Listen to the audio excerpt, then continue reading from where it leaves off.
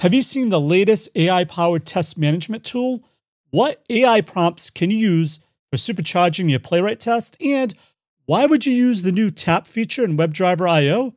Find out in this episode of the Test Guild News Show for the week of May 18th. So grab your favorite cup of coffee or tea and let's do this.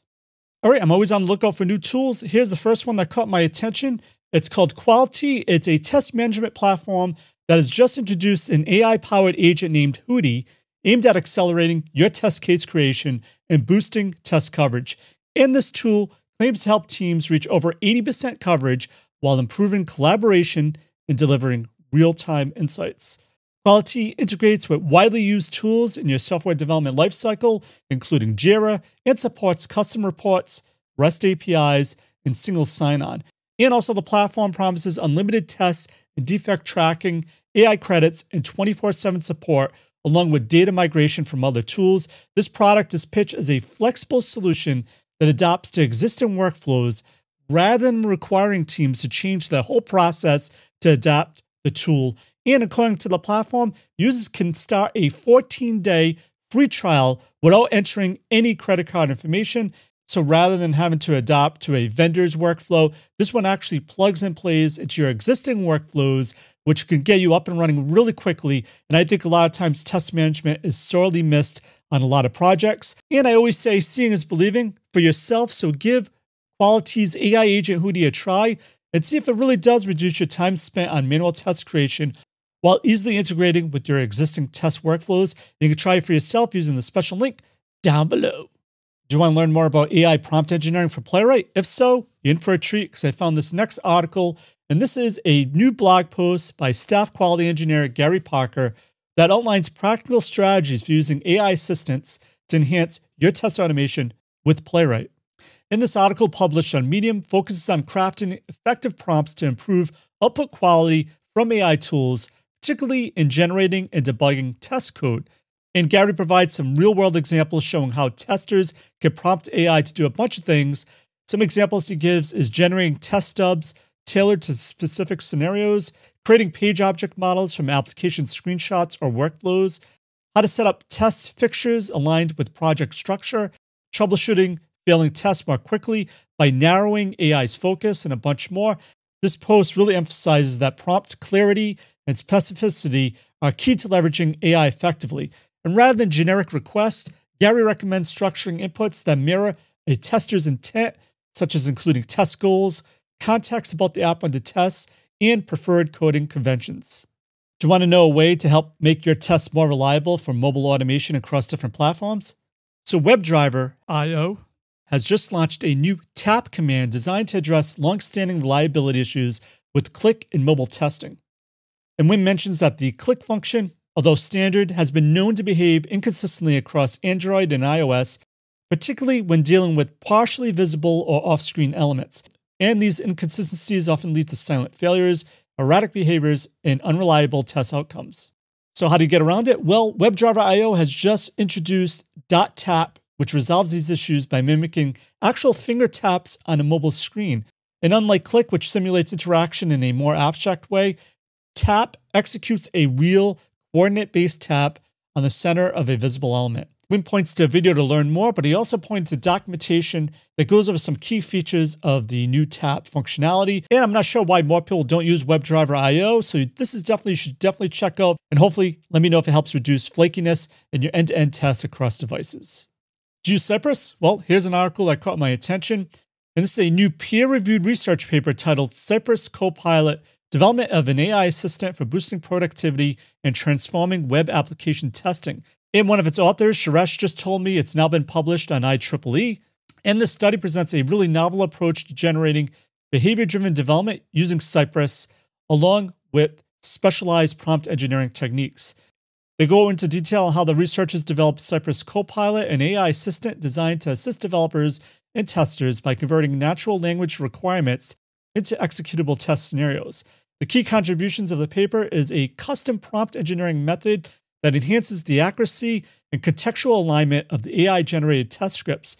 And according to the study, the proposed technique outperforms standard prompt methods, showing improved results in relevance and execution success rate. The assistant supports iterative refinements and real time feedback for generating test code, aiming to reduce the manual efforts typically associated with test authoring. The paper also includes detailed experimental results, comparing different prompt strategies and highlighting the limitations of the off the shelf approaches. Definitely a really cool read, and you can find out more about it using the links down below. All right, this next story is going to stop probably blowing up. It just was announced two days ago, and that's how OpenAI has just launched Codex, which is a cloud based AI software engineering agent designed to automate various coding tasks. It's already available in ChatGPT Pro, Team, and Enterprise users. Codex can write features, fix bugs, run tests, and propose pull requests, all within isolated cloud environments preloaded with the user's codebase. And the article goes into detail how this is powered by the Codex 1 model, a variant of OpenAI's O3 optimized for software engineering. Codex was trained using reinforcement learning on real-world coding tasks and it aims to generate code that aligns with human coding styles and project requirements. And users can now interact with Codex through ChatGPT's interface by assigning tasks or asking questions about their code base. Each task is processed independently with Codex capable of reading and editing files, running commands, and providing verifiable evidence of its actions through terminal logs and test outputs. And I'm sure we'll hear more about this as the weeks and months go on. So stay tuned. Do you do performance testing? Well, you're probably missing out on this forgotten metric. What is it? So, in a recent LinkedIn blog post, Andre, a senior software performance analysis, emphasized the importance of using using Linux pressure stall information, otherwise known as PSI, as a performance diagnostic tool that is often overlooked in software troubleshooting. He also highlights that traditional metrics such as CPU, memory, and I/O utilization only measure how much of a resource is being used, not how the system is currently coping with its current load. PSI fills the gap by showing whether the system is under pressure, stalling, or waiting for resources, which provide a clearer picture of actual system performance. And the article goes into detail on how PSI tracks stall behavior in CPU, memory, and I/O subsystems and indicates when tasks are delayed due to insufficient resources. And this can hopefully expose hidden performance bottlenecks that classical utilization metrics fail to reveal. Also, as I was scrolling through LinkedIn, I found another article titled The Silent Signals, the Hidden Threat of Minor Instances. And this is by Harinder, head of platform resilience, and he emphasizes this often overlooked impact of minor system inefficiencies and instances on software performance and reliability that's often overlooked. So Harinder illustrates how seemingly trivial issues such as redundant validation logic, unoptimized front-end assets, excessive logging, bloated CSS, and insufficient background job polling can collectively degrade user experience, strain resources, and also increase operational costs. And these minor insufficiencies, while not immediately catastrophic, can accelerate and lead to significant system degradation over time. So, this article explores the cultural and structural reasons why engineering teams may overlook minor incidences. And if you're actually not sure how to approach performance investigations, I found another article that takes a deep dive into a real world approach. And this is by Rico, who outlines his structured methodology for diagnosing and resolving performance issues in software systems. Rico draws from a decade of engineering experience, and he breaks down the process down into three key phases problem definition, measurement, and root cause identification. Rico also stresses that vague or poorly framed problem statements often waste time and misdirect efforts. Rico also cautions against over fixating on CPU usage, knowing that's often not the limiting factor in real world performance bottlenecks. I want to thank this week's sponsor, Zaptest AI an AI driven platform that can help you supercharge your automation efforts. It's really cool because their intelligent copilot generates optimized code snippets, while their Plan Studio can help you effortlessly streamline your test case management. And what's even better is you can experience the power of AI in action with their risk free six month proof of concept featuring a dedicated Zap expert at no upfront costs. Unlock unparalleled efficiency and ROI in your testing process. Don't wait. Schedule a demo now and see how it can help you improve your test automation efforts using the link down below.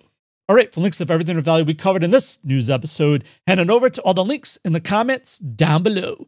Once again, I'm Joe, and my mission is to help you succeed in creating end-to-end full-stack pipeline automation awesomeness. As always, test everything and keep the good. Cheers.